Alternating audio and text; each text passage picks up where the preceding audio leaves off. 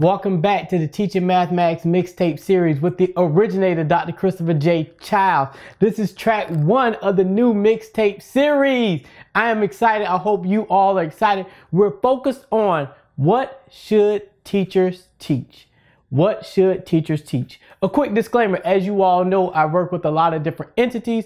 All statements and opinions are my own. The whole purpose of a mixtape is to make it short sweet, and to the point. These tracks should be very succinct. They should be very short. If you want something longer, let me know. That's a full PD. but for the mixtapes, it's something to get you started, to give you like a springboard to get to the next step. Our goal for this mixtape track, making sense of what teachers should teach when schools reopen. Pretty straightforward. I'm gonna I want you all to get quiet for me. Just listen. This is a this is the easiest mixtape track to make. What should you teach? Grade level content day one. Now, you're trying to figure out what grade level content or what should I be teaching. Student Achievement Partners has released their 2020-2021 priority instructional content in ELA literacy and mathematics. This document is fire. I am not this wait, let me do a disclaimer like the big time YouTubers. This is not a paid endorsement. All right, got that out the way. This document tells everyone what should the priority content be. It is based on research and the progressions. Think about what the standards, everything is built upon a progression. We still want to ma maintain those progressions even though we're prioritizing content. This document helps leverage the structure and emphasis of college and career readiness.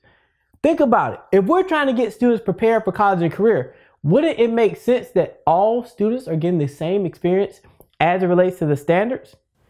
In addition, addressing unfinished learning in the context of grade level work. That is key. That's why you can start off with grade level material day one because guess what? You intertwine the unfinished content.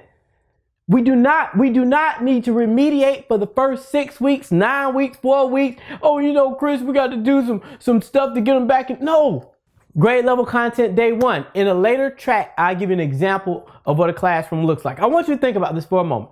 We're all educators. There are educators across the country getting ready to go back to school. With that being said, a fourth grader in California, whether they're in Washington, whether in Utah, Florida, New York, no matter where a kid is, I'm just using fourth grade. I like fourth grade at the moment, one of my favorite grades ever. No matter where they are, they should get the same experience as it relates to the standards. I hear crickets. That's too much sense. We should be collaborating in times like this. I'm talking to people across the country. Everyone's like, you know, Chris, we're working on what, what our vocal standards are, our priorities. Why is everybody recreating the wheel? This has been done. This is a great document. This is the K8 version. A, you know, a little, little buzz has been in my ear. They're working on a high school version. There is no reason you should be prioritizing standards or identifying power standards. No, it has been done. We need to be focused on making sure every child receives a high quality learning experience. That's it. That's it. Stop doing all this priority. It's been done. We need some common ground. With this common ground, focus on what's going to matter. Are your teachers going to give students rich experiences? Your homework. This is a mixtape, and you get homework on a mixtape because this is Dr. Kristopher J. Childs. It's your boy. You've been with me. You've been rocking with me for a while. Some of you, this is your first time consuming my content. Welcome. Probably should have told you welcome in the beginning, but hey, it's a mixtape. Have fun with it. What I want you all to do for homework, I want you to take this document, look at your state standards, and create a concordance. You're probably saying, Chris, that's recreating the wheel too. We're That's five minute work, 10 minutes max. But identifying standards, that's a, that's a lot of work. This is five, 10 minutes just create a concordance document between your state standards and the priority content and share that with others because the same, guess what? State standards in your state, probably the neighboring district, neighbor, neighboring school do the same thing. Just share it. So one person create it and just share it freely. Share it freely. But that is your homework.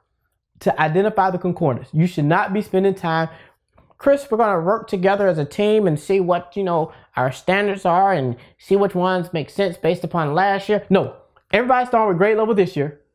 And then what do we focus on? Priority content.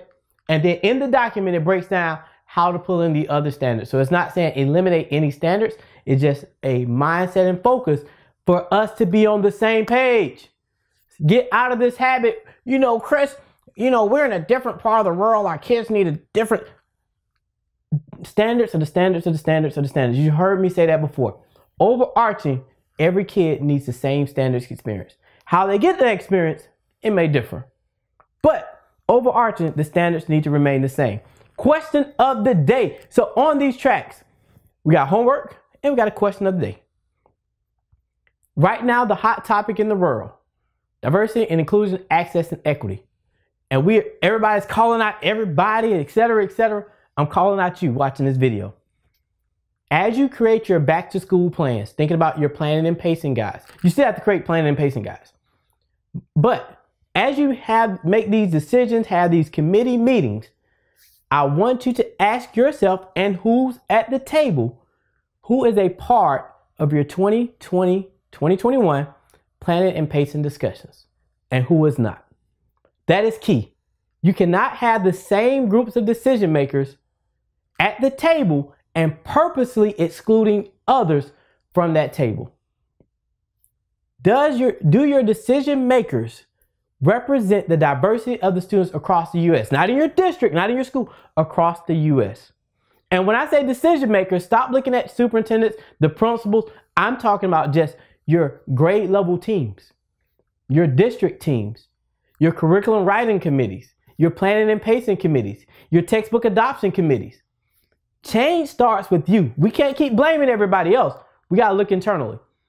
That is my question of the day for you. It's kind of rhetorical in a sense, but who is a part of this planning process? At the levels you control. Don't say, Chris, while school board. No, at the levels you control, who is a part of that process and who is not. Unless all of your students are achieving at a high level, all students, regardless of subgroup, we all have room to do better. We, this can be the best year ever if we start with grade level content day one, all of your students will rock and roll this year. And if you don't think they'll rock and roll, fill my inbox up and tell me all the reasons they can't. I'm gonna give you a million reasons why they can. This has been your boy, Dr. Kristopher J. Childs with track one, track one.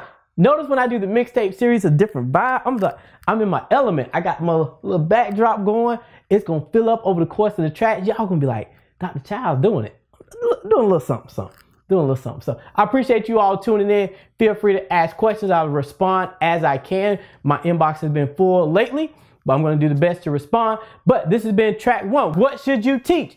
Grade level content day one. Using this document, priority instructional content document. Use that document as your foundation, as your springboard, so every kid across the country will get a high quality mathematics experience for 2020 2021.